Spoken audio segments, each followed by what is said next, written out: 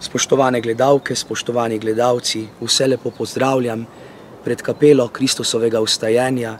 Kristus od mrtvih ustali, vliva našim življenjskim potem novi smisel, novo upanje in odpira pred nas nova obzorja. Ko smo morda na življenjskih cestah, tudi mi potrti, preizkušani, se kakor nekoč dvema učencema tudi On približa.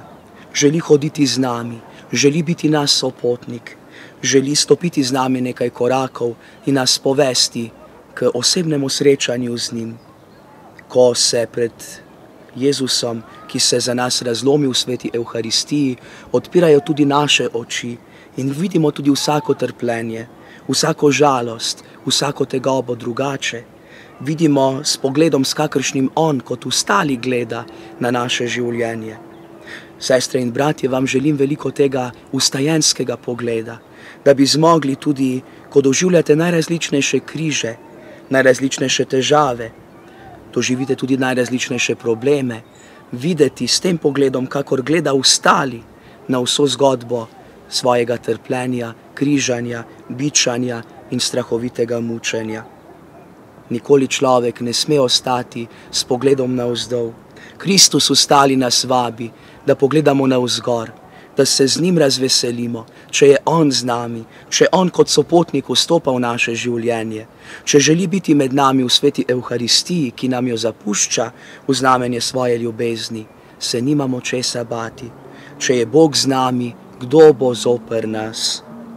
Ko stojimo pred kapelo Kristusovega ustajenja, nas Kristus ustali tudi vabi k sebi in pravi, jaz sem pot, resnica in življenje. Želim, drage sestre, dragi bratje, dragi gledalci, da bi na vsakem koraku vašega življenja res Kristus pokazal pravo pot, da bi bil On resnic, resnično resnica naše duše, kot vsebina naše duše, resnica in ničesar drugega, in da bi On svoje življenje, ki ga prinaša kot ostali, v resnici prinesel vsakemu med vami, še posebej k bolnim, ostarelim, osamljenim, razočaranim, potrtim, naj prinese svoj blagoslov, svoj pozdrav, saj če prinaša On življenje in ga prinaša v obilju, smo bolj radostni, bolj veseli, bolj navdušeni, bolj veseli. In tega veselja, te radosti, ki jo prinaša on kot ostali, slehernemu želim in vse lepo pozdravljam.